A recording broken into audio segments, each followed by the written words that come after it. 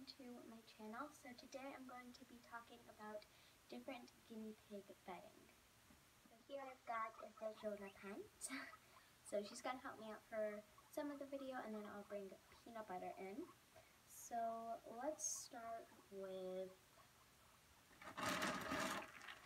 Timothy hay. So Timothy hay can be used as bedding. Um, however, it is pretty expensive to keep buying bag after bag for cleaning. Um, and so yeah, that can kind of add up. And it's not too cheap, Timothy hay, and so it's just better to um, be able to have that for them for food because once it goes on the floor, it's bedding Timothy hay, so it's a lot better to have it kind of like in a little stand for it, but yes, it can be used as bedding, um, however, it will be more expensive than just getting um, like normal bedding. The next one is pine.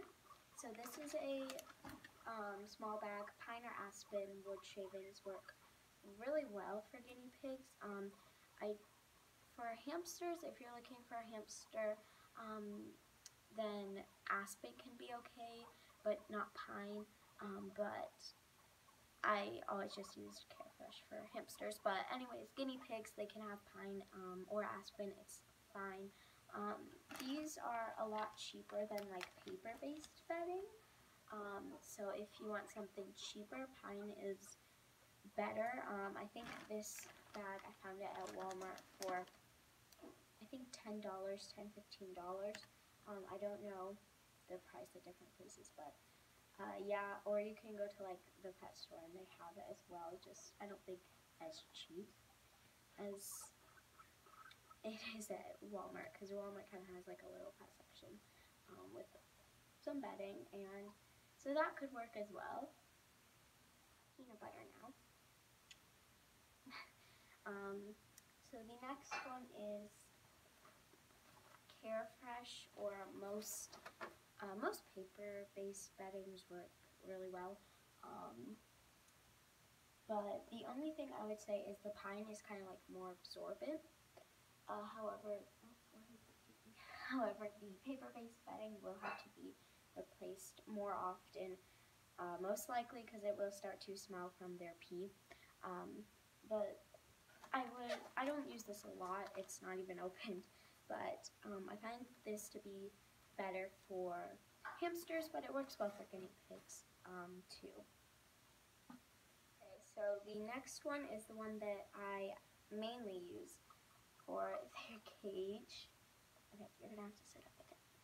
Um, is these fleece mats. These are the ones that you like lay down on your bathroom floor. Um, this one's kind of ugly because it is brown, but I got these from Walmart. Um, so I have this one and I have this one, which this one's kind of more like, almost like a foamy, but they were both $6. Um, I have another one in their cage that's like blue like this one, but um, I have one that's like this one, but a different color in their cage right now that I got for $3. These were $6. I, I don't know why. Um, this was more expensive because they're the exact same thing, but whatever. Um, so those are really great because if because all you have to do is wash them and then put them back in there. And if you buy extras, you can just when cleaning, you can take these out, put them in the wash, and then you just have to put those other ones into their cage. So these are really nice. This is the one that these are the ones that I use. I haven't. Um, I use this and pine, but I'm going to switch it all to fleece. Okay, so that's all the beddings I have to show. Um, there are some others that are safe as well, but these are the ones that I use most of the time. And yeah, uh, thank you for watching. Bye.